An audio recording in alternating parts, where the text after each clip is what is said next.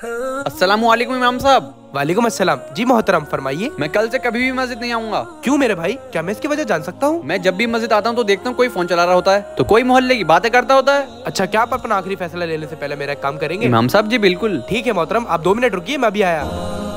ये लीजिए ये पानी से भरा ग्लास है। इस ग्लास को लेकर आपको मस्जिद के पूरे चार चक्कर लगाना है। ध्यान रहे इस ग्लास में से एक भी पानी की बूंद ज़मीन पर नहीं गिर पाए। जैसे गिरी तो मैं आपको इस डंडे से मारूँगा। अरे इमाम साहब ये तो बहुत आसान काम है अभी लगाता हूँ।